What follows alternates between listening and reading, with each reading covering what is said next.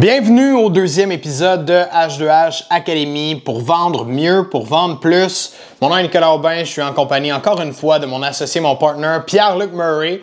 Puis aujourd'hui, on va adresser un sujet assez percutant, un sujet qui peut être difficile à entendre.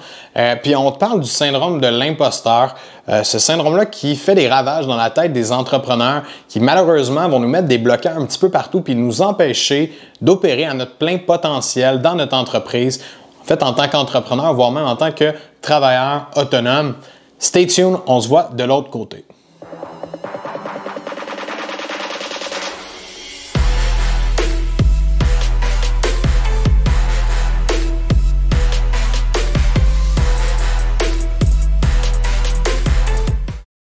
Pour commencer euh, notre sujet aujourd'hui, je trouve que c'est important euh, qu'on qu'on parle de nos expériences à nous, qu'est-ce qu'on a vécu par rapport à ça, le syndrome de l'imposteur, parce que ça arrive à tout le monde. C'est euh, c'est un phénomène, on peut dire, assez fréquent dans le domaine de l'entrepreneuriat, dans le domaine de la vente, voire même euh, le syndrome de l'imposteur. Fait que, veux-tu euh, nous raconter un peu pourquoi on n'a pas lancé H2H Academy avant, PL?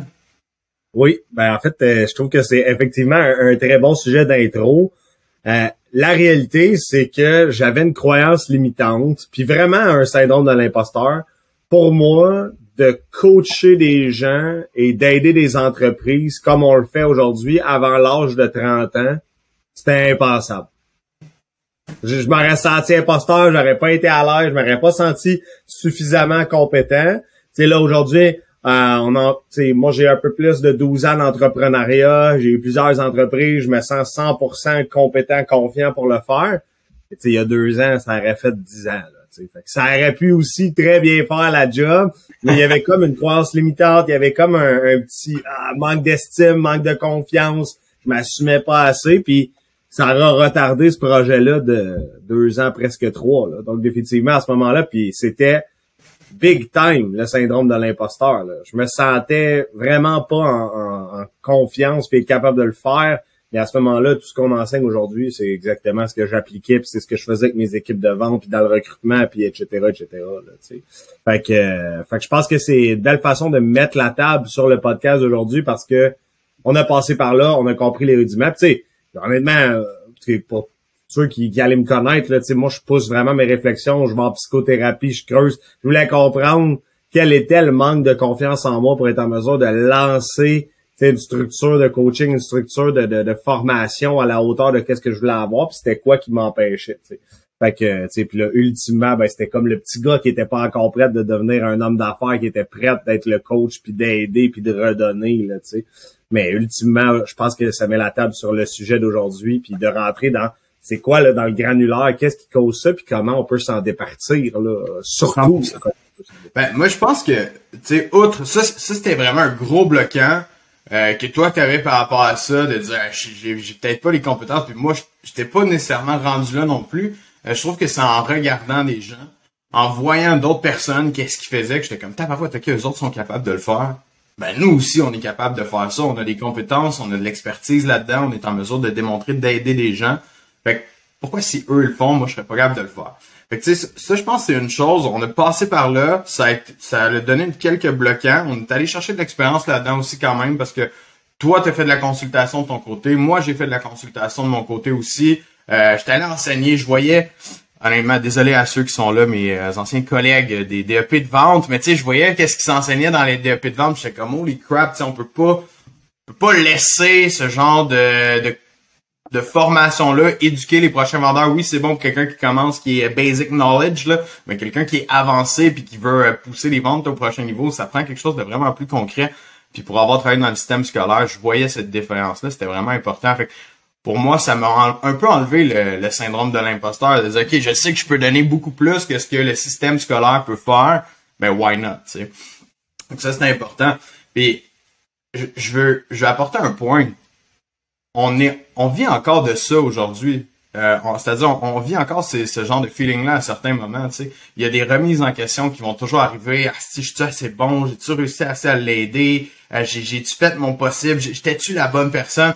Puis souvent, c'est juste une crainte, puis c'est un, un smoke screen qu'on se met devant nous parce que on a les compétences, on a ce qu'il faut pour le faire. Puis peu importe, je parle pour tout le monde qui est là aussi, mais c'est que les résultats, les mauvaises semaines, euh, les mauvaises nouvelles vont toujours nous rapporter dans, dans ces ancrages-là où est-ce qu'on se pose beaucoup de questions puis qu'on on vient un peu des fois qu'à se sentir imposteur. Fait que je veux juste mentionner à tout le monde que c'est normal que ça arrive encore, même si euh, tu es rendu dans une big business puis ça roule bien. On n'est jamais, je, crois, 100% débarrassé de ça. Il est toujours pas loin. Euh, puis il faut juste fight back puis comprendre que on est là pour les bonnes raisons puis on fait les bonnes choses. Exact. Mais il y a de quoi de sain, par contre, d'en avoir un brin, tu sais, parce que c'est ce qui nous maintient dans le challenge de est-ce qu'on est à la hauteur du service qu'on propose? Est-ce qu'on deliver le bon service au bon prix? Ça ramène des très belles questions et de l'introspection qui est nécessaire au développement d'une business.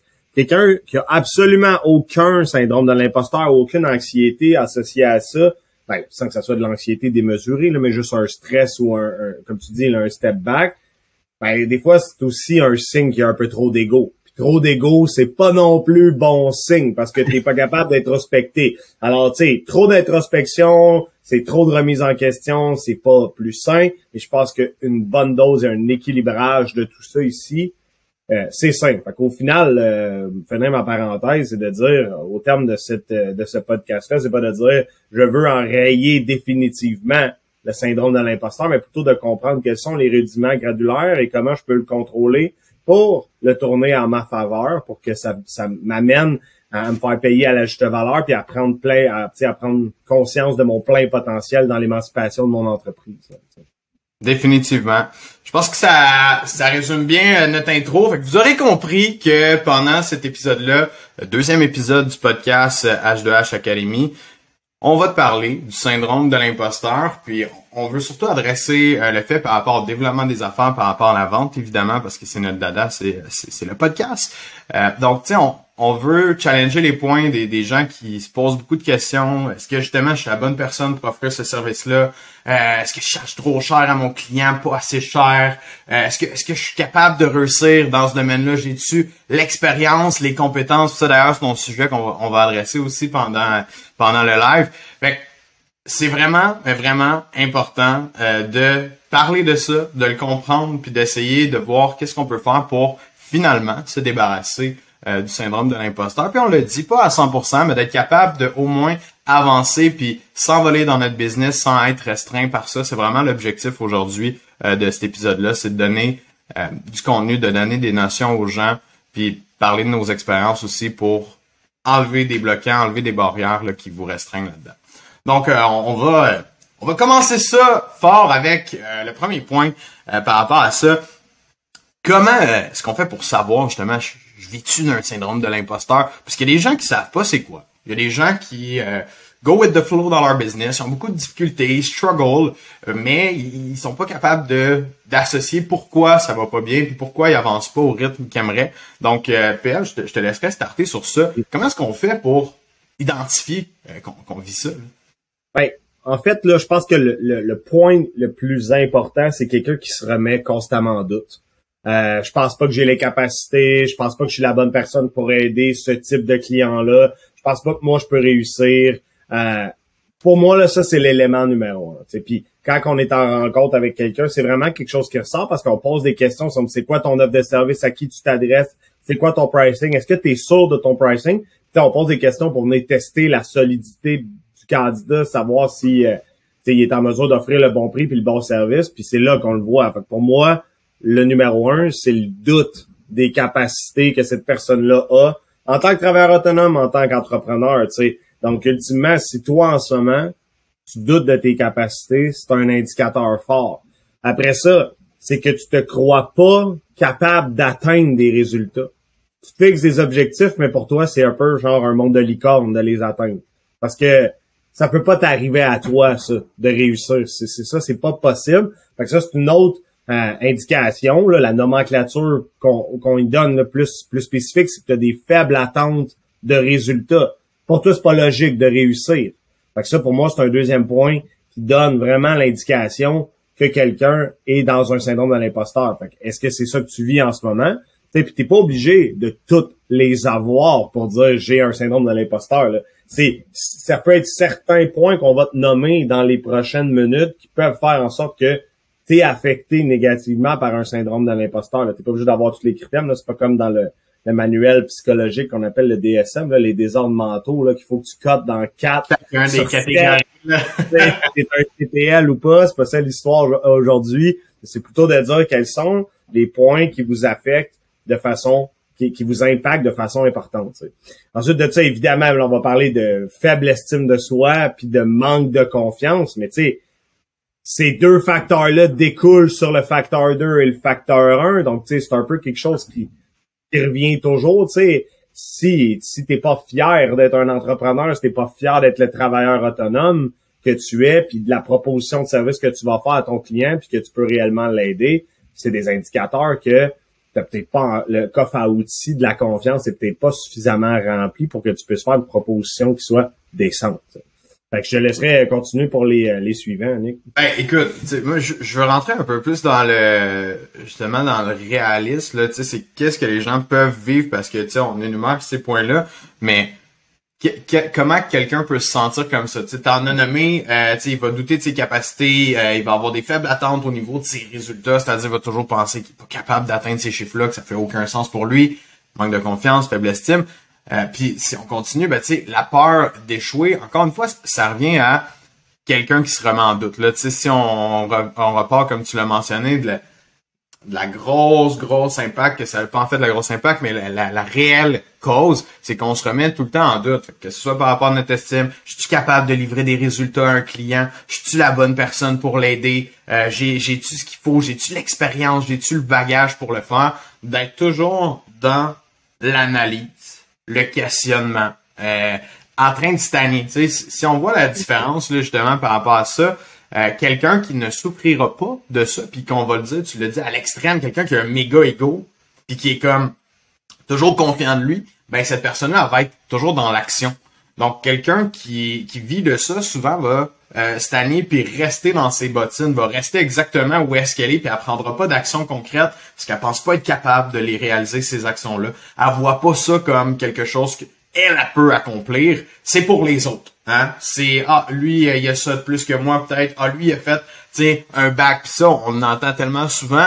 Euh, quelqu'un a fait un bac, quelqu'un a fait des études, lui a eu ça, moi j'ai pas ça, je suis peut-être pas capable d'aider quelqu'un, euh, je suis peut-être pas capable de donner le même rendement à un client parce que j'ai j'ai pas eu ces études-là ou j'ai pas eu les mêmes euh, formations que cette personne-là a eu. Puis la réalité, c'est que beaucoup de monde qui vit ça. Là. On, on est en 2022. Là. Des gens qui vont à l'école faire des bacs, puis, euh, puis ça, on voit que ça, commence à, diminuer un peu, puis on sait qu'on est capable de, faire notre boss, peu importe le type de service, peu importe qu'est-ce qu'on fait, on peut se former en ligne, puis on peut apprendre à devenir une machine à l'intérieur de un an en se formant sur le web ou simplement sur le terrain. Fait je pense que il y a une grosse différence, comme je mentionne, entre la personne qui, elle, elle a un ego démesuré, elle est tout le temps dans l'action, est en train de tout faire. Peut-être qu'elle va trop vite puis qu'elle se pète la gueule à gauche, à droite, là, fort probable. Euh, mais entre la personne qui est pas en mesure de passer à l'action parce qu'elle est bloquée là-dedans. Puis moi, je le vois beaucoup là, euh, dans les nouveaux étudiants, les gens qui rentrent. Ils se questionnent, puis ils nous questionnent, évidemment, parce que c'est l'objectif ils nous questionnent sur Ah, mais je devrais-tu faire ça? Ah, je, serais-tu capable de faire ça? Moi, je, j'ai jamais fait ça avant. Hey, on va faire ça.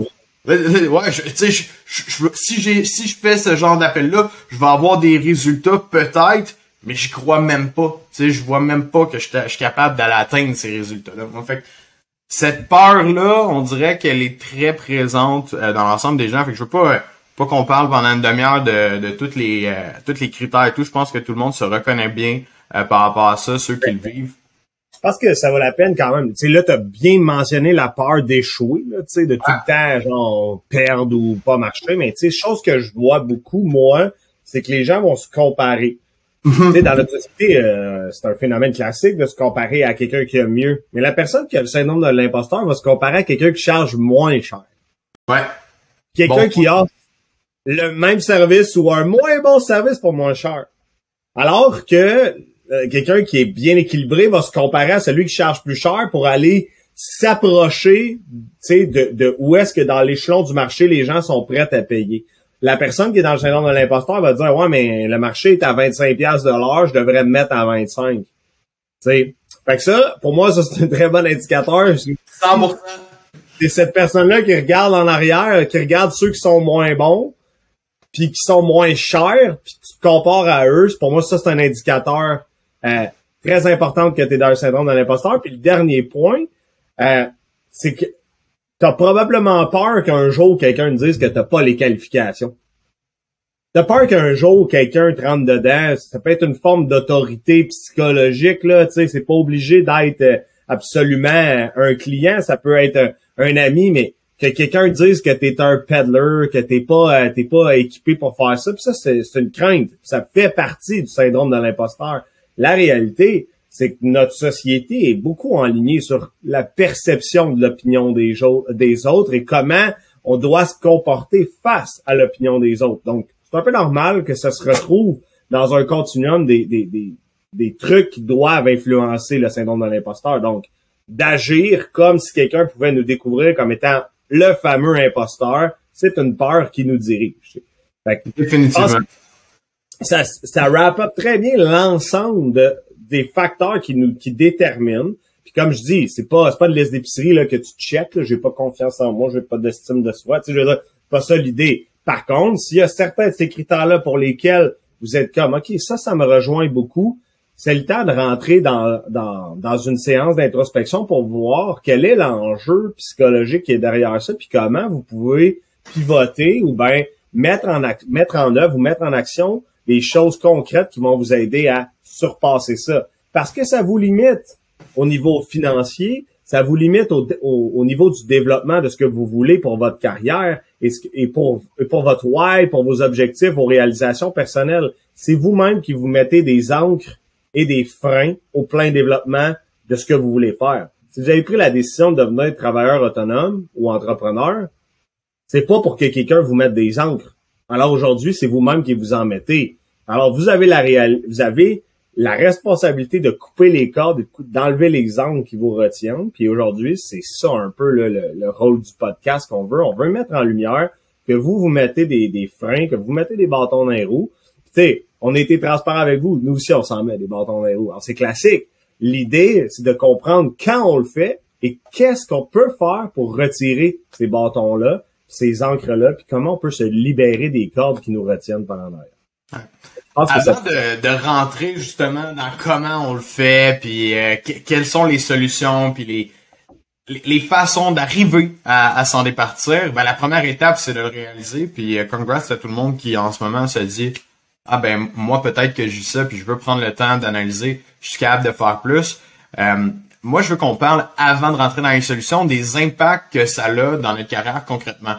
Euh, parce que c'est important de le comprendre. Si on n'est pas en mesure de comprendre à quel point on se pénalise, à quel point euh, on, vit mal de ça, euh, de, différentes façons qu'on peut le vivre, ben on n'aura peut-être pas envie de, de, le résoudre si on comprend pas à quel point ça nous impacte. Parce qu'il y a beaucoup de gens qui, aujourd'hui, vivent de ça, puis ils vivent de ça très bien parce qu'ils réalisent pas euh, que ça a un impact concret, ils réalisent pas à quel point ça les empêche d'atteindre leurs objectifs, ça les empêche d'atteindre la liberté financière qu'ils voulaient avoir, d'aller faire un voyage à Walt Disney avec leur famille, tu me fais penser à ça, j'ai vu ton post ce matin. fait tu sais, dans l'ensemble, euh, c'est important de comprendre les impacts que ça a. Fait que je, je veux mettre la table sur ça, puis ça c'est assez fréquent là, c'est une pensée euh, qui est native d'ici, de notre petit Québec, euh, tout le monde qui vit du syndrome de l'imposteur, puis souvent sans s'en rendre compte, ben pense qu'ils sont nés pour un petit pain. Puis pour eux, dans leur concept, c'est normal de faire mon argent. C'est normal de rusher. Euh, c'est normal de se casser la tête, de se péter la gueule à toutes les fois qu'ils essaient d'aller chercher un client. C'est normal que la business n'aille pas bien. On est en récession. Euh, c'est normal, on est en pandémie. On, va, on va ajouter une raison, on va ajouter une justification à toutes les choses euh, qui ne fonctionnent pas dans notre business, dans notre développement des affaires, voire même dans notre vie personnelle. Et ça va faire en sorte qu'on minimalise l'impact que ça a, euh, le syndrome de l'imposteur, sur notre vie. Parce que le développement de ta business, ça va avoir un impact directement sur tes finances, ça va avoir un impact sur ta liberté, ça va avoir un impact sur le reste. Donc, pour moi, ce point-là, c'est un point méga important de comprendre que tu as le droit de réussir. Là. You have the right to do it. Là.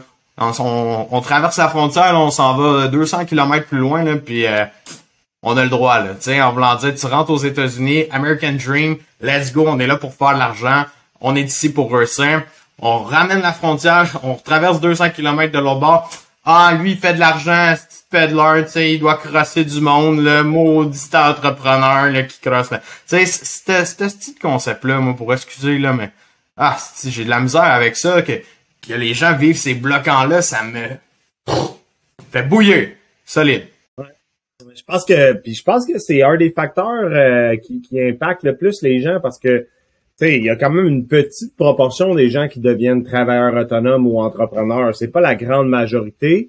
Puis, bon, excluant les médecins ou tous les corps professoraux de, de, très haut niveau qui sont capables de faire des six chiffres en montant, le commun des mortels gagne entre 40 et 65 000 par année. Fait que, ultimement, aussitôt que tu passes la barre de 80-90 000, tu commences à te distinguer par ton la façon dont tu consommes, OK? Donc, ultimement, ça paraît. Donc, comment tu vas agir? Tu vas aller plus au restaurant, tu vas peut-être faire un voyage de plus par année, tu vas peut-être faire une plus, belle maison, etc. Fait que ça dérange. Donc, ultimement, déjà là, à partir du moment où que tu commences à déranger, ça peut déclencher le syndrome de l'imposteur. Parce que toi, là, tu étais dans ta vie avant à 45 000, tu pouvais rien te permettre, surtout en ce moment, hein, parce qu'en ce moment, tu sais, il y a trois ans, c'était pas si pire, là. C'est plus le même montant. Là, là, c'est de la merde, ça va pas, là, ça marche pas, là, malheureusement. Là. Fait que c'est ça, tu Fait que là, aujourd'hui, tu vis les impacts de ça, puis peut-être que toi, quand tu as le syndrome de l'imposteur, quand quelqu'un dit Ouais, la business, ça va bien, ah ouais, tu fais de l'argent, euh, ça se peut que ça te rapporte à crime. Je suis imposteur, moi, de faire des sous, ben je le mérite vraiment. Fait que clairement que ça a des impacts personnels, relationnels, et ça peut avoir vraiment des répercussions importantes dans la vie. Euh, je dirais que un deuxième impact, c'est que le travailleur qui est vraiment affecté par ça va travailler au-dessus de son potentiel. Il va faire des tâches qu'il n'aime pas faire parce qu'il va se convaincre qu'il est né pour un petit pain, puis il va charger moins cher parce qu'il va être convaincu qu'il est né pour un petit pain. Parce que ça fait aucun sens qu'il charge 150 pièces parce que selon lui, en entreprise, ça vaut 32 pièces, fait qu'il calcule mal les DAS, puis il charge 36. Fait que c'est normal que les entrepreneurs l'engagent. Ça coûte moins cher ça qu'avoir quelqu'un sur le payroll avec pas de vacances, pas de gestion, puis je peux le remercier demain matin. T'sais. Être travailleur autonome et entrepreneur, ça comporte son lot de risque aussi, puis il faut, le prendre en considération. je, dirais, pour euh, bonifier, c'est qu'on en a déjà parlé, je pense, dans d'anciens vidéos qu'on a faites qui ne sont pas euh, sur les podcasts, mais bien sur notre chaîne YouTube. Euh, les gens ne travaillent pas dans leur zone de génie, sont pas capables de se positionner puis de s'apporter les deux pieds dans leur propre zone de génie, euh, puis ils vont prendre ce qu'on leur donne. Tu sais, t'es travailleur autonome, t'es entrepreneur, puis tu vas prendre la scrap. Je vais dire ça, la scrap, parce que c'est le client peut-être moins le fun, qui va te payer moins cher pour tes services, qui va être plus difficile avec toi, qui va te traiter comme un employé parce que t'es, pris là-dedans. Puis ça, cet impact-là, ça a, ça a, un, ça a un, impact directement sur ton bonheur. Parce que si tu t'es lancé en tant qu'entrepreneur, tu t'es lancé en tant que travailleur autonome, c'est parce que t'étais tanné d'être salarié de l'autre côté. Puis ça te tentait d'avoir une liberté, ça te tentait de prendre tes propres actions puis de décider qu'est-ce que t'allais faire de ta journée. Mais whoops, you're back in your old shoes, là. Ça n'a pas été trop long qu'on t'a ramené au rôle d'employé, mais avec un pas de T4 puis euh, pas de pas de pension, pas de ci, pas de ça. Fait que finalement, t'es ramené à mauvaise place. Fait que cet impact-là, c'est méga important. Puis il y a beaucoup de gens qui, on dirait, ne le réalisent pas euh, à court terme. Ah non, je travaille autonome. T'es sûr que t'es travailleur autonome? OK, sur ton slip de paye, t'en as pas. Tu reçois une facture. OK, t'es travailleur autonome. Mais je te dis combien d'heures tu travailles par semaine? Ben, je travaille 40 heures pour une personne. Hein? t'es employé, là. Tu sais, tu, reviens. T'es vraiment pas dans ta zone de génie. T'es, revenu où est-ce que t'étais. Puis ça, c'est plate. C'est crissement plate comme situation. Puis moi, quand je le vois, pour vrai, ça, ça me fait de la peine. Parce que je me dis, si tellement de potentiel. Je parle avec la personne, super ouverte, super open devant moi. Je vois tout le potentiel qu'elle est capable de donner à un client. Je vois comment qu'elle, elle sait qu'elle est capable d'aider un client, mais pas assez pour s'enlever euh, ce, ce, frein-là. Et puis, évidemment, quand on parle de travers tout son potentiel, pour ceux, vous allez vous en rendre compte, là, moi, je suis très assumé, là, je suis un puriste capitaliste, là. Moi, voir quelqu'un qui me dit qu'il charge 50%, 60% moins cher du price market value, ça me fait capoter. J'ai pas perdu mes cheveux pour le fun, là. Il y en a qui me font complètement capoter. Tu sais, en, rencontrant quelqu'un en 15 minutes, je suis comme, OK, si tu prends mon accompagnement, si je te prends par la main, d'ici la fin de l'année, on double, on triple ton revenu, j'en suis 100% confiant. Juste en réglant le syndrome de l'imposteur, là, on vient même pas modifier les... On vient pas différencier la prospection, là. On règle ça, puis on vient tripler, doubler ton revenu. On passe de 30 pièces à 90 pièces. Puis là, quand je leur dis ça, ils tombent en bas de leur chaise. Mais non, c'est impossible. Je te le dis, c'est ça que ça vaut. Tu sais, par exemple, prenons un exemple. Euh, commis comptable ou tenue de livre. Moi, je paye 72,50 dans une de mes compagnies. Puis ma boîte à Trois-Rivières, je charge 75 pièces de l'heure pour ça. J'en rencontre une comme ça là euh, en, en, appel de qualification, elle chargeait 25 pièces de l'heure. Puis j'étais comme en tout cas, peut-être que je te prends pas comme étudiante, mais je t'engage dans toutes mes compagnies. Fallait tout. À ce prix-là, m'a sauvé, Chris, 1000 pièces par semaine, tu sais. Fait que, tu sais, ultimement, on riait, mais c'est pas le bon prix, tu sais. Fait que, à un moment donné, la compétence, ça se paye. Puis pour moi, c'est ça. Le plus dommageable, c'est parce que l'argent, c'est une unité de mesure que tout le monde va dire, ça crée du tabou, mais ça l'amène la liberté, la liberté d'action, la liberté de choix, la liberté de faire ce que tu as envie pour ta business, puis où est-ce que tu veux aller dans la vie. Fait que pour moi, c'est le point principal à régler, puis il faut être à l'aise de casser ce tabou-là dès le départ. Tu charges pas le bon prix, qu'est-ce qu'on peut faire pour que tu charges le bon prix, que tu t'adresses au bon client pour être payé au bon prix? Pour moi, c'est le dommage collatéral le plus important derrière le syndrome de l'imposteur. Si on rentre dans, dans l'aspect business de la chose, comme tu l'as mentionné aussi, tu sais, euh, si tu es, entre... si es un entrepreneur très autonome tu as l'objectif de grossir une entreprise puis tu charges ce prix-là, comment vas-tu faire pour déléguer un jour? Charger ce prix-là, comment tu vas faire pour déléguer puis mettre quelqu'un dans tes souliers? Tu pourras jamais être victime de ton pricing parce que c'est toi qui dois faire le travail à 25 de l'heure ou à 30 de l'heure. Tu peux pas déléguer quelqu'un. Justement, un commis comptable étudiant qui sort de l'école, tu vas être capable de l'embaucher peut-être à 25, 28 pièces de l'heure salarié. Je sais pas comment que ça gagne. Mais en réalité, il faut que tu charges plus cher à ton client tu as des DES à payer à lui, tu as des frais de bureau, tu as des frais de ci, tu as des frais de ça. Une business comme ça que ça marche, une business faite pour faire de l'argent. Donc, c'est important de comprendre que cet impact-là va t'empêcher d'avoir une croissance à court, moyen et long terme dans ta business. Tu vas rester solopreneur slash travailleur autonome slash employé dans, dans mon monde à moi parce que tu travailles au salaire d'un employé pour des entrepreneurs. Fait que ça revient un petit peu au même principe si on switch au, prochain point par rapport justement aux impacts, puis euh, on va y venir là par rapport aux solutions, on va rentrer vraiment dans le concret sur comment faire pour vous en débarrasser. C'est un petit tip, mais ce qu'on fait à l'instant de mentionner les impacts que ça a, c'est la première chose pour arriver à, s'en débarrasser. Si on comprend les impacts que ça a dans notre vie, on, a déjà une cloche qui devrait s'allumer et dire ici puis dire tabarnak que ça va pas bien en ce moment. C'est vrai que je, je, peux pas scaler comme que je voudrais. C'est vrai que je travaille pas dans ma zone de génie. C'est vrai que je pourrais en faire pas mal plus. Donc, ça, c'est la première étape pour s'en débarrasser. On va rentrer dans les trucs plus concrets après, mais c'est vraiment le premier point. Fait que si on, termine sur ça, euh, il y a beaucoup de gens qui, au contraire de, de penser justement qu'ils travaillent en dessous, ils ont toujours l'impression de pas en faire assez. Puis ils vont devoir faire de l'overtime, essayer d'en donner plus. Euh, puis ça, je le vois souvent. Quelqu'un qui charge un prix euh, X pour un pour un service, puis comme, OK, mais là, faut que je fasse ça de plus. Ah, mais là, je vais y envoyer ça. Puis là, je vais, ça, c'est pas à mon goût, je vais y refaire de plus. Hey, t'es, t'es payé pour ton résultat, pour qu'est-ce que tu donnes. T'es payé pour un service. Si à chaque fois, t'as l'impression que tu livres jamais la marchandise et que tu fais le double de temps pour chaque client, tu reviens au même point qu'on vient de mentionner. Tu travailles pour moins cher que ce que tu vaux, encore une fois. Fait que c'est bien de faire le extra mile pour un client. C'est bien de, de vouloir livrer un service de qualité mais de faire de l'esclavagisme, là, ou je sais pas comment qu'on appelle ça, c'est pas la bonne solution. C'est pas la bonne solution non plus. Donc, tu veux pas devenir un esclave parce que tu as toujours l'impression que t'es pas assez bon. Euh, tu as toujours l'impression qu'il faut, faut que tu donnes plus pour être payé parce que y en a des meilleurs que toi ou peu importe la raison. Ce n'est pas euh, une bonne solution parce qu'évidemment, tu vas brûler la chandelle par les deux bouts si tu fais ça. puis tu seras plus capable de travailler pendant tout, mais pendant tout.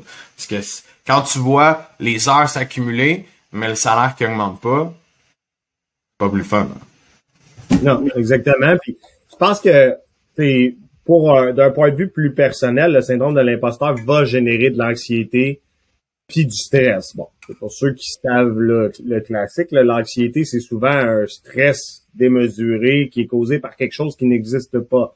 Or, le syndrome de l'imposteur, de penser qu'on n'est pas à la hauteur, de penser qu'on n'a pas assez deliver la qualité de produit, on peut se questionner à savoir si ça existe ou pas. sais, si on le met sur un continuum, t'as-tu donné ton 110%? Si la réponse c'est oui, ça devrait s'arrêter là, l'anxiété. C'est de l'anxiété de performance qui, à un moment donné, ne sera jamais à la hauteur parce que lorsqu'on tombe dans le perfectionnisme, on n'est pas dans le bon continuum. Alors, ces deux facteurs-là amènent des répercussions au niveau interpersonnel dans la famille, avec les enfants. sais, si vous êtes dans votre tête en train de penser à si j'ai-tu donné assez pour ce client-là, vous n'êtes pas en train de vous occuper de votre famille. Puis moi, c'est d'une dimension pour laquelle ça m'affecte beaucoup de voir des gens qui sont dans leur tête en train de penser à ça au lieu de profiter pleinement du moment présent avec leur famille. T'sais. Fait qu'il y a un enjeu aussi interpersonnel qui est très important à prendre en considération. T'sais, puis vous allez vous en rendre compte là, au fil des semaines avec nous, on traite la vente sous forme holistique. Donc, ce que ça veut dire, c'est en globalité, c'est tout ce qui nous en euh, affecte, facteurs externes et facteurs internes à nous. Donc, pour moi, les relations interpersonnelles qui sont victimes du syndrome de l'imposteur viennent causer des répercussions au niveau des ventes, au niveau de la prospection, puis au niveau du succès d'entreprise. C'est c'est pas euh, c'est pas quelque chose qui est à prendre à la légère. On, va on ratisse un peu plus large. Par contre, c'est un impact qui, qui est significatif, qui peut causer du tort à moyen terme puis à long terme. Là, puis on va se dire tout ce qui est euh, impact personnel va affecter 100% du temps qu'est-ce qu'on fait aux professionnels. Fait c'est important de le traiter c'est important de le comprendre parce que sinon tu te tires dans le pied directement. Je terminerai avec euh, avec un point puis un point euh, assez important puis je pense que les gens vont bien se reconnaître là-dedans. Puis ah, je, vais, je vais le dire avec une anecdote. Hier, on a une de nos étudiantes qui nous dit, euh, je, je pas, mais on a une étudiante qui nous dit ben là, j'ai atteint mes objectifs que je m'étais fixé genre euh, trois semaines avant le temps ou même plus que ça. J'ai atteint mon objectif, là. Euh, je sais plus trop quoi faire, là.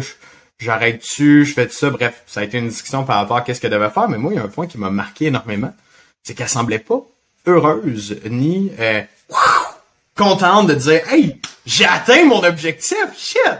It happened for real, je l'ai fait. Je l'ai fait pas juste euh, comme oui, j'ai atteint mes chiffres de vente, je l'ai fait en moins de temps puis beaucoup moins de temps que prévu. Puis ça, pour moi, c'est un win. C'est, c'est méga important de souligner ça puis d'être content de ces petits achievements-là. De un, quand on est entrepreneur, personne qui vient nous donner une tape dans le dos à chaque fois qu'on a un, bon coup de quoi, t'es tout seul à le fêter de ton côté. Mais quand même très important de célébrer les petites victoires puis de s'arrêter pour euh, pour voir qu'est-ce qu'on fait, euh, pour voir qu'on avance puis être fier de nous au final tout simplement. Puis ça, on dirait que les gens qui vivent avec ce syndrome-là de l'imposteur euh, ont beaucoup de la difficulté d'être fiers de leurs propres résultats.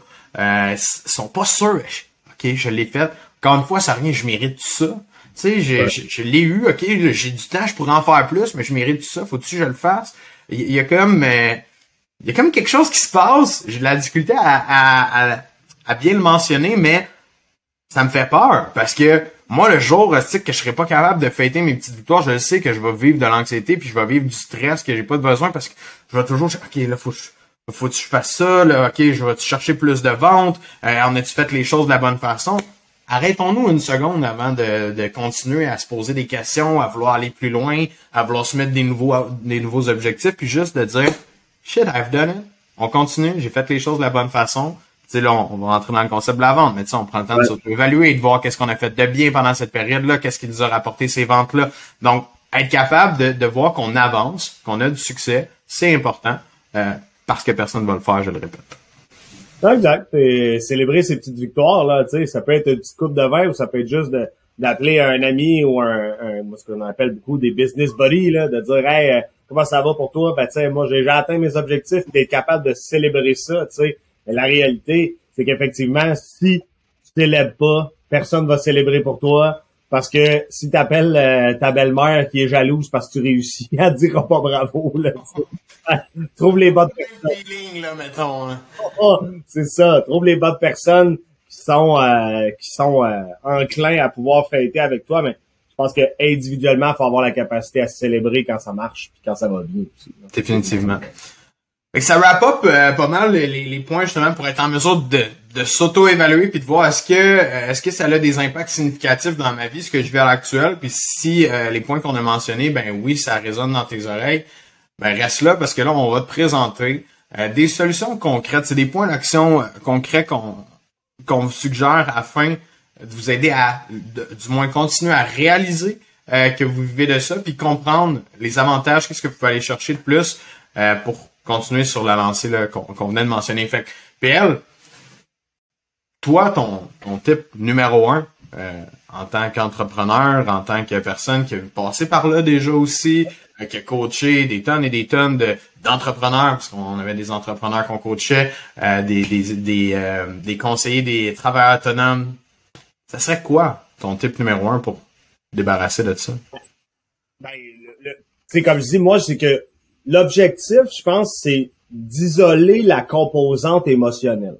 Et donc, comment on, va, tu sais, d'être rationnel dans l'évaluation de, de ma business, puis où est-ce que je me dirige. Donc, je veux isoler ça par la mise en place de processus, etc.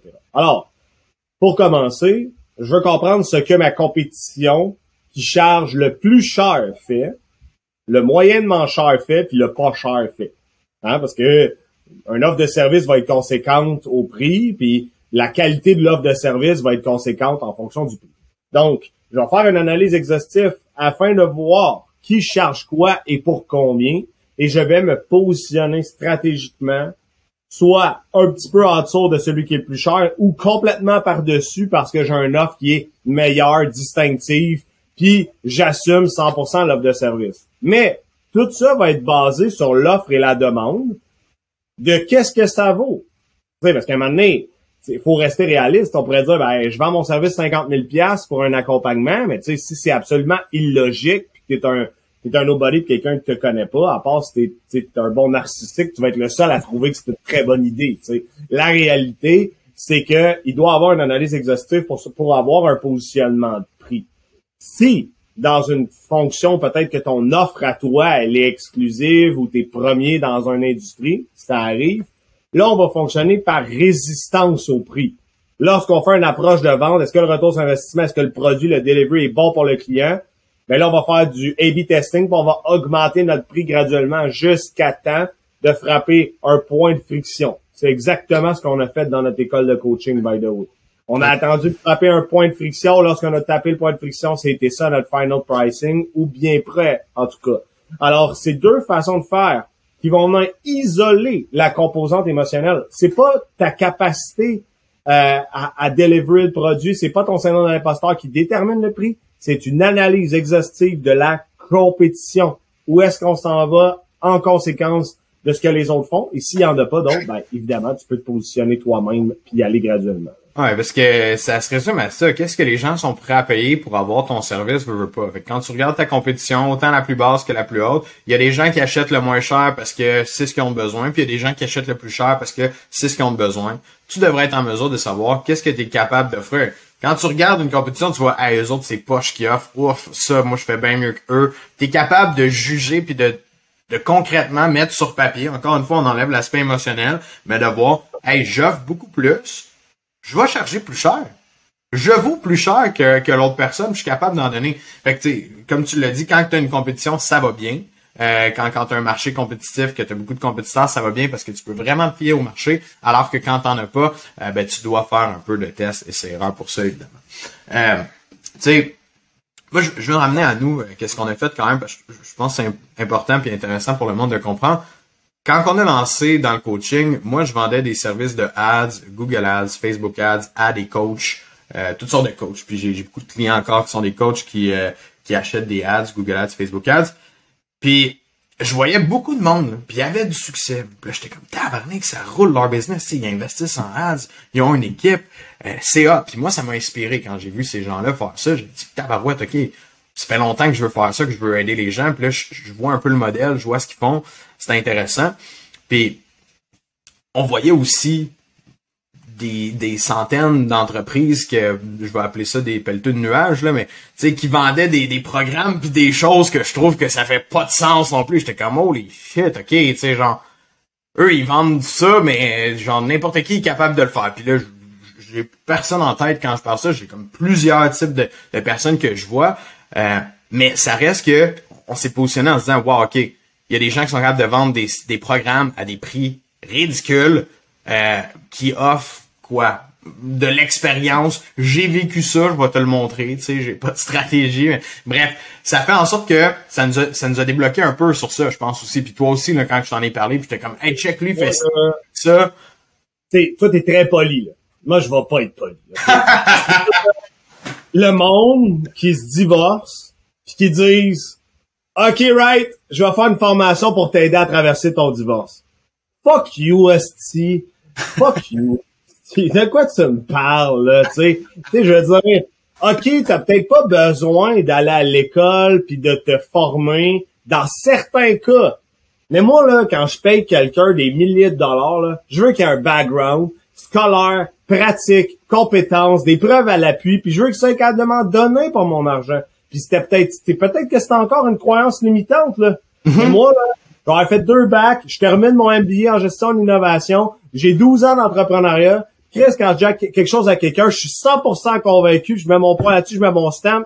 C'est ça qu'il faut que tu fasses. Fait c'est pour ça que moi, j'ai un très gros malaise quand quelqu'un dit, ah, moi, je charge 12 000 pour un accompagnement, pour un voyage spirituel, mais vous aider à traverser votre divorce. Là, je dis n'importe quoi, là. Ça peut être n'importe quoi. Je suis pas capable, si que ça me pue au nez, ça marche pas, tu sais, mais moi, ça, tu vois, ça, ça a été un trigger pour toi quand je t'ai dit ça, puis je te montrais comme hey, tel coach vend ci, tel coach vend ça, puis tu sais, j'envoyais. Euh, puis toi, t'as comme fait Holy shit, si ces gens-là vendent ça, Chris, que moi je suis capable d'en donner pour de l'argent en masse. Là. Ton, on dirait que ta lumière, là, ça fait ding ding ding ding ding tout de suite. ah ouais. Si sont capables de faire ça avec le background qu'on a, let's go, là, c'est assez le syndrome de l'imposteur, on passe à l'action, là, fuck that. Mais tu vois, ça, c'est la leçon vraiment importante ici, d'analyser ta compétition puis de regarder ce qu'ils font. C'est là que ça peut t'allumer des méga cloches comme ça. Je trouve que la leçon est vraiment importante sur ça parce que tu vois quelqu'un qui fait ta job, mais tout croche, t'es comme, si voyons donc qu'il a dit ça au client, puis ça fait pas de bon sens, puis si moi j'aurais pas fait ça, j'aurais j'aurais proposé d'autres choses, ou même si t'es mécanicien, si dans la vie, j'aurais jamais installé telle pièce sur un char de même, Chris, ça a pas de bon sens, c'est pas ça que le gars a besoin. Dès que t'as une expertise, que t'as un service, t'as quelque chose que t'es capable, pis un produit, voire même, dès que tu sais que t'es capable d'en faire plus, puis tu le vois, puis ça te fâche, t'as de quoi en dedans de toi, là, quand tu vois la compétition faire ça, pis ça fait mais semble que ça n'a pas de bon sens ce qu'ils viennent de faire aux clients ou ce qu'ils viennent de vendre aux clients. Ben, dis-toi que ça, là, ça démontre en crise que tu as ta place sur un marché puis que tu peux les augmenter tes prix. Bref là, là. Fait analyse-la ta compétition. Prends le temps. Si tu sors en 50 noms, mets ça sur une feuille. Si t'es bloqué avec ça, si t'as l'impression que tu charges pas assez cher, si tu travailles pas dans ta zone de génie en ce moment, mets ça sur une feuille, là, note-les, va faire des recherches, fais des, des calls fantômes mystiques en te faisant passer pour quelqu'un au pire, va chercher des pricing, fais l'espion avec ta compétition. T'as le droit, by the way, il y a rien qui La veille stratégique ah, une veille stratégique, on va utiliser le bon mot. Mais fais une veille stratégique sur l'ensemble de ta compétition et va voir comment bien te positionner. Nous, quand on fait du, Google Ads puis du Facebook Ads avec Leadflow, c'est exactement ça qu'on fait quand on, démarche sur un marché qu'on connaît pas pour aller starter des ads. On regarde ce que tout le monde fait en ads puis on voit comment on peut se positionner mieux que ces gens-là. Fait que toi, dans ta business, t'as de la misère à pricer, t'as de la misère à aller chercher ton positionnement. Regarde ce que ta compétition a fait. Vois que souvent, elle fait pas ça de la bonne façon puis toi, tu vas le faire. C'est un bon point, ça. bon euh, point. Je continue sur le point numéro 2. Euh, Puis ça, on en a parlé vaguement tantôt, mais c'est de calculer son taux horaire. Surtout quand tu commences, tu es, peut-être plus en start-up, c'est important de voir est-ce que je gagne vraiment un salaire d'entrepreneur? Ou est-ce que je gagne vraiment un revenu d'entrepreneur? Ou je gagne un revenu d'employé? Fait que je reviens vraiment à ce point-là. Si tu es en, ce moment en train de brûler ton temps, ton énergie pour gagner un revenu d'employé, alors que dans la réalité, euh, tu seras en mesure d'en faire plus. Ta compétition, elle en fait plus. On vient au point numéro un. Mais c'est important de le faire. Puis quand on dit calculer son salaire, là, c'est calculer tout. Là. Comment ça te coûte en frais de comptabilité, en frais de bureau, ton téléphone, l'électricité que tu mets pour ça dans ta business, euh, des DOS, des employés, euh, ton marketing. 100% de tes dépenses devraient être calculées puis voir à la fin comment tu gagnes de l'heure en fonction de ce que tu as chargé au client dans ton mois. Puis si tu gagnes en bas de, de 20 pièces de l'heure, là, on, le sait, là, on en a des gens qui sont là, là. on en a là, qui travaillent 60 heures, puis on, on commence à travailler avec eux, puis on va changer ça. Mais pour ceux qui l'ont pas encore réalisé, qui sont pas rendus là, Prenez le temps de regarder, je suis rentable dans mon temps, je suis en train de me, me prostituer, je suis en train de faire de l'esclavagisme en ce moment, parce que si oui, ben sache que tu mérites beaucoup plus que ça. Fait que de faire ça, là, le calcul du salaire horaire, là, allume un bon check-up. euh, normalement, la, la lumière, euh, la lumière check engine, elle allume, c'est pas trop long là. C'est un point tellement important là, tu sais, de déterminer c'est quoi sa valeur horaire, ça te donne une indication. Et puis nous, là, un des premiers conseils qu'on va faire en coaching, c'est de flipper le taux horaire en montant forfaitaire pour justement venir skyrocket la tarification horaire. Parce que normalement, quand tu prends la décision de devenir travailleur autonome ou entrepreneur, c'est parce que tu delivers deux fois plus ou 1,5 fois plus qu'un un salarié standard syndiqué qui se pogne le cul, tu sais. Ah, Ça, on voit ça, là, tu sais, j'ai, j'ai, un- j'ai une idée en tête, là, un, un gars qu'on connaît tous les deux dans la construction qui travaillait comme trois hommes. Hum, C'était évident qu'il allait se partir à son compte. Crème, il était pas, il était payé pour un an, mais il travaillait comme Ouais. trois hommes. Tu sais, Il tirait pas sa break et il dînait pas le midi, tu sais. C'est sûr que c'était pas logique que lui, il soit pas à son compte, tu sais. Fait qu'effectivement, de venir répartir ça, c'est une belle analogie, tu sais. Puis après ça, ben, de, se re- revenir à pourquoi t'as décidé de lâcher ta job pour devenir travailleur autonome, entrepreneur. Tu tu sais, quand on dit entrepreneur, ça peut être solopreneur, mais ça peut être aussi entrepreneur. Je connais des gars qui gèrent 10 personnes, puis qu'à la fin de l'année, il reste pas d'argent dans la boîte. Là, C'est fou que les ça. prix sont pas bons. C'est pas fou, c'est absolument... Ah, Moi, mais c'est juste comme How can it be? Tu sais, c'est, c'est co- comment ça se fait que, que t'en es arrivé là?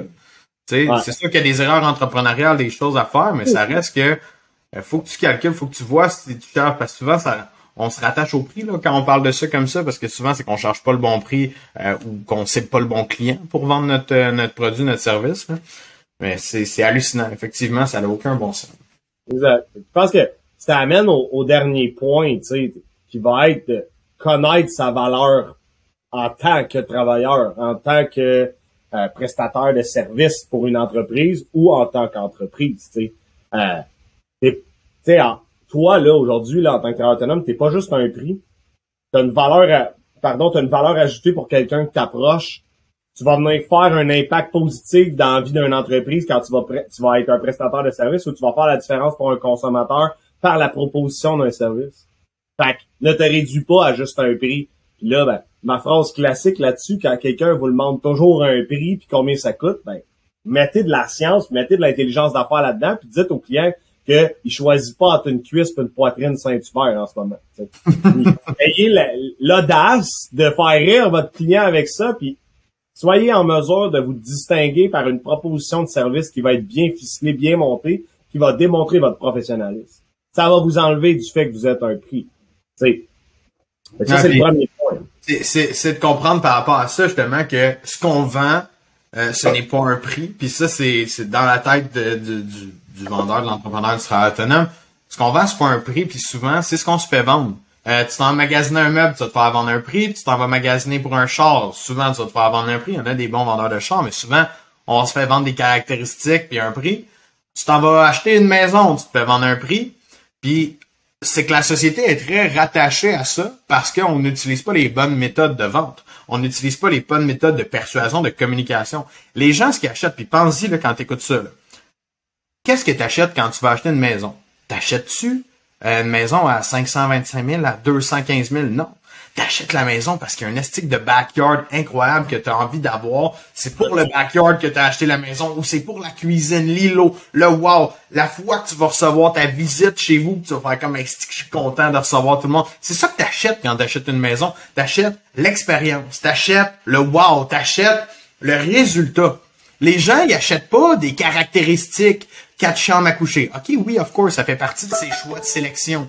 Mais les gens n'achètent pas les caractéristiques, ils achètent l'ensemble, ils achètent le résultat, ils achètent qu'est-ce que ça va leur donner une fois qu'ils vont être là, et le bonheur qu'ils vont pouvoir avoir. Puis là, je te parle d'une maison, mais c'est la même affaire pour n'importe quoi. Chaque produit ou chaque service va donner un résultat à un client, va donner un wow, va donner une, facilité dans sa vie, va lui sauver du temps, va y enlever des mots de tête.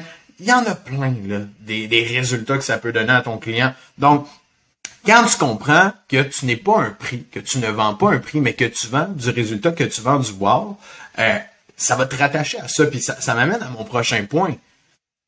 Toi, tu le sais que ton service est hot, que ton produit est hot. Tu le sais, là, tu l'utilises ou tu le vois, puis à tous les jours, tu penses à ça, puis t'es, es convaincu que c'est vraiment hot comme produit. Mais quand vient le temps de vendre, quand vient le temps de le présenter à un client, oups, on dirait que tu es moins convaincu. Tu vends des caractéristiques, tu vends des avantages, tu vends des bénéfices. Tu vends plus le résultat, tu vends plus le wow. Tu vends ça. Caractér... tel prix. Parce que là, tu as peur de charger. Comme, ouais, là, il est tel prix. Puis, tu sais, on l'entend souvent. Ah, je pourrais te donner un rabais. Euh, tu sais, ça, c'est la phrase classique qu'on entend de tout entrepreneur autonome qui, euh, on dirait, pas confiance en ses résultats, en ce qu'il peut donner, va tout de suite essayer de plugger un rabais quelque part pour venir comme adoucir le prix. Alors qu'un calice de rabais, je m'excuse, mais ça vaut rien un rabais. Si le client est intéressé à t'acheter toi, ton produit, les résultats que ça donne, va l'acheter pareil. Ça n'a pas rapport avec ton rabais. Tu vends pas des euh, stylos sur Amazon, tu sais, on s'entend? Fait que dans l'ensemble de la chose, euh, c'est important d'être convaincu et convaincant. Fait que pour être convaincant, tu dois être convaincu. Fait chaque fois que tu t'approches, que tu vas vendre, tu dois savoir que cette conviction-là que tu que ton service peut aider des gens, parce que là, tu as pris le temps d'évaluer ta compétition, right? Hein? Tu as pris le temps de voir que tu étais meilleur que eux, que tu étais capable de deliver pas mal plus. Tu dois avoir ça en tête. Tu dois être en mesure d'appuyer sur le bouton de dire Hey, ça, ça va t'aider, ça c'est nice, voici ce que ça va pouvoir faire pour toi, voici le genre de résultat que tu vas avoir avec ça. Parce que moi, si t'es pas convaincu de ce que tu me vends, Chris que je t'achèterai jamais rien. Ça, c'est sûr. Peu importe le prix, t'achèterai ça va paraître que t'es pas convaincu. Exact. ce qui est le plus important, c'est que s'il y a un retour sur investissement, s'il y a un facteur wow, si tu capitalises sur le résultat que le client va obtenir, tu n'auras pas la réponse que ton, ton service est cher, que ton produit est cher. Parce que il va, parce que la valeur va tellement être élevée, le retour sur investissement va tellement être élevé que le prix va passer comme dans du beurre. Et là, encore une fois, je sais pas si vous avez remarqué, on isole la composante émotionnelle. On est dans la rationalité. Qu'est-ce que tu peux faire pour ton client? Qu'est-ce que lui peut obtenir? C'est ça qui est important dans l'équation. Puis on vient isoler le facteur de chuner pour un petit pain par l'implantation d'un processus, par l'implantation d'idéologie, par l'implantation d'analyse exhaustive de la compétition, etc., etc. Alors, vraiment beaucoup de contenu qui a été donné aujourd'hui. Nick, je pense que euh, on, peut rapper là-dessus. Euh, on va faire déjà bientôt une heure. je te laisse faire un, petit recap, puis je pense que ça, ça, termine bien là, euh, le podcast d'aujourd'hui. 100%. Écoute, j'aurais juste ajouté mon dernier point. Euh, la, la, question que tu dois se poser, puis ça va faire partie des suggestions dans le fond là, par rapport à tout ce que vous avez entendu aujourd'hui. La question que tu dois te poser, c'est est-ce que je suis en mesure d'aider mon client concrètement, réellement, peu importe ce que tu vends, est-ce que je suis en mesure de l'aider? Si la réponse c'est oui, tu as ta place. C'est tout. Es-tu capable d'aider ton client? Oui. Let's go. Tout le reste, les émotions, les craintes, tu dois les enlever si tu es en mesure d'aider un client. Do it. Charge plus cher, essaie des choses, vois qu'est-ce que ta compétition fait. Fait que je reviens. Euh, super important de te faire challenger. Si tu veux t'améliorer, si tu veux travailler ce point-là, aujourd'hui, pendant que tu écouté ce podcast-là, tu t'es fait challenger sur plusieurs points mais ça se peut qu'à soir, tu penses plus à nous pendant que tu ailles te coucher. Fait que trouve-toi une solution là, là, écris quelque chose sur un bout de papier, mets-toi ça dans ta to-do fais comme ça te tente, mais euh, donne-toi le devoir de te faire challenger, que ce soit avec un ami, quelqu'un que tu connais, un autre entrepreneur, trouve-toi une façon de te faire challenger, puis de façon quotidienne, voire hebdomadaire ou pire sur une rencontre, parce que si tu te fais pas challenger, euh, malheureusement, ta bitch voice intérieure est peut-être plus forte que, que toi, puis elle va peut-être gagner, puis ton syndrome de l'imposteur va continuer à prendre la place, puis c'est pas ça qu'on veut. Donc, fais-toi challenger et entoure-toi de gens à succès. Entoure-toi de gens qui ont réussi, entoure-toi de gens qui ont réussi à enlever ce syndrome de l'imposteur-là, puis qui sont passés au prochain niveau. Des gens que, que, que tu vois, qui, qui t'inspirent, des gens qui à qui tu as confiance, euh, peut-être voire même des gens qui sont dans le même domaine que toi. Il y en a des mentors qui vont aider des gens dans des domaines similaires, puis qui vont être tout oui pour te donner ces trucs, ces astuces, comment ils ont fait pour se lancer, euh, puis passer au prochain niveau. Mais s'il te plaît, entoure-toi, ça va te donner un méga coup de main pour ça. Fait que si, si je recap dans l'ensemble, prendre le temps de s'évaluer ce que vous avez fait aujourd'hui pendant la séance, euh, prendre le temps de comprendre c'est quoi les impacts que ça a dans votre réalité de vivre avec ce syndrome de l'imposteur-là, euh, les impacts sur ton revenu, ton temps, tes objectifs, bref, sur la vie que tu souhaites avoir réellement. Et finalement, ben, prends action. C'est le conseil le plus important pendant ce podcast-là.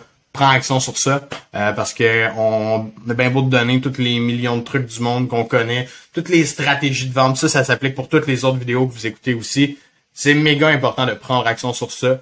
Euh, donc, quand vous écoutez ça, prenez des notes, mettez-vous, mettez-vous quelque chose dans votre to-do je le répète, parce que sinon, il va rien se passer de nouveau, malheureusement. Donc, voilà pour le podcast, épisode 2, H2H Academy. Ciao guys, merci d'avoir été là, merci d'avoir écouté. C'est déjà la fin du deuxième épisode de H2H Academy. Je t'invite à faire une seule et unique chose si tu as apprécié le contenu, si ça a été pratique pour toi aujourd'hui euh, d'entendre ça, si ça t'a réveillé certaines cloches, ce que je souhaite fortement, euh, tu simplement qu'à t'abonner si tu es sur YouTube, Spotify, Apple Podcasts. Encore une fois, gros merci à toi et bonne vente.